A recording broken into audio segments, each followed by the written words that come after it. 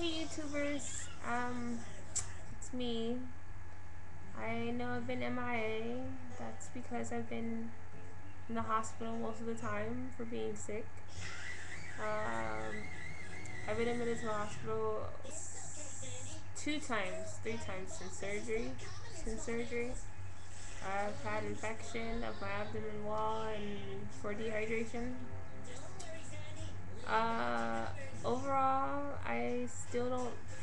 Too well. I mean, look at me, uh, my hair. I, I don't. I feel no loss of energy. I have no energy. Um, I just want to sleep all day. It's hard for me to get my vitamins in. Um, I try so hard, but it just makes me nauseous, and I just end up throwing them back up. As far as protein shakes go, haven't been getting that in either. Probably one protein. Probably like six ounces of protein every two days. And I'm supposed to be taking in how much? Like uh like 40 something ounces of protein a day. Uh, will I get up there? Who knows? Um, I get sick if I don't eat. I get sick if I eat. Um, I throw up a lot of my fluids. Yep. water, if I drink too much, too much water, it just comes right back up. And I don't know when it's too much water because I'm always so thirsty. But I've kind of learned what's my limit. I try, but sometimes, I don't know, my body likes to change its limit. As far as numbers go, uh, since surgery, I've lost 37 pounds, and I'm only a month and two days out. I've lost 37 pounds. I went from 295 pounds day of surgery to now I weigh 258.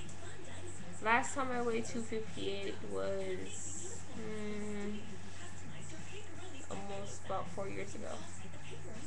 So I'm very, very happy about that. A lot of my clothes fit me loose.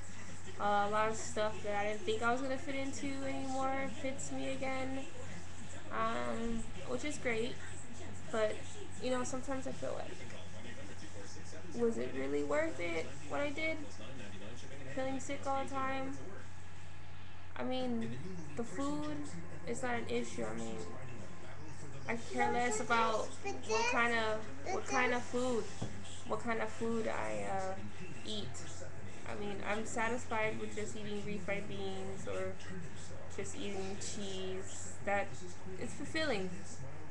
But what makes me sometimes get like this regretful feeling is just being sick. I mean, I just wish I could pick up a gallon of water and just chug it, but I can't chug it.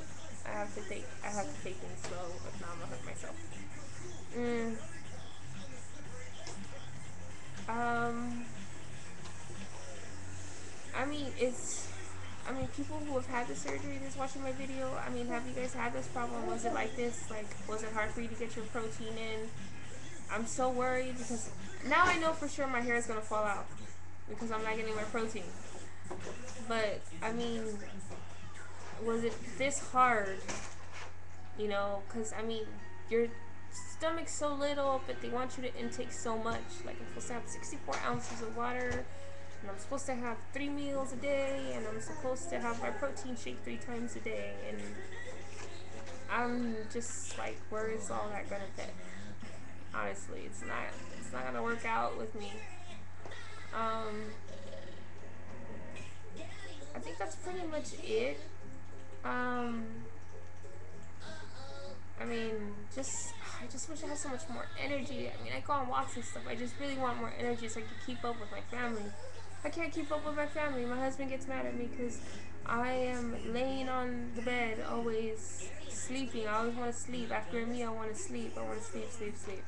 The other day, I slept all day. I think I was only up for actually four hours for that day. I slept the other 20 hours.